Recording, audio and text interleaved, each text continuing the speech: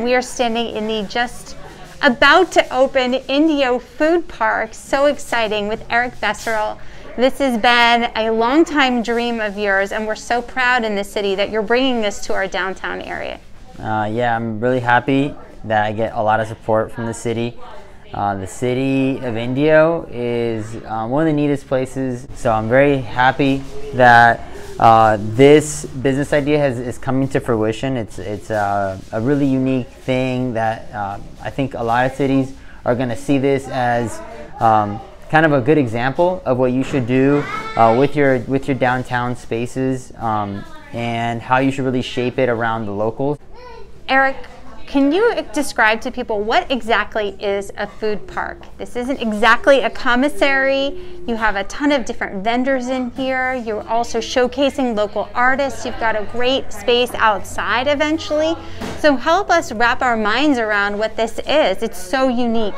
Um, what we have here is a collaboration of a number of businesses and entrepreneurs, artists alike that work uh, with each other to formulate a creative space. Um, we call it a small business incubator because of the fact that we were able to allow um, creative freedom and um, bring resources to these businesses that are either starting up or already functioning.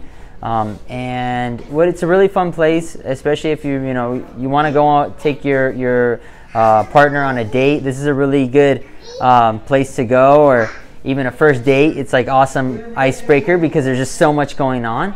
So the nitty gritty on this is it opens to the public on February the 12th. It'll be open for now at least Friday, Saturday, Sundays, yes. right? You can come in, you can pick up some food to go, you can shop for some local vendors as well. How else can people get involved and learn about what's happening here? So, um, if you have an idea, you have a business that you that you feel would be a great fit here, um, feel free to reach out to us on Instagram or Facebook. Um, we are Indio Food Park as well as CV Food Trucks. A lot of people know us by that. And let us know what your business idea is. Also, we speak Spanish, so if you're a Spanish speaker, feel free to reach out to us. Um, we're here to help.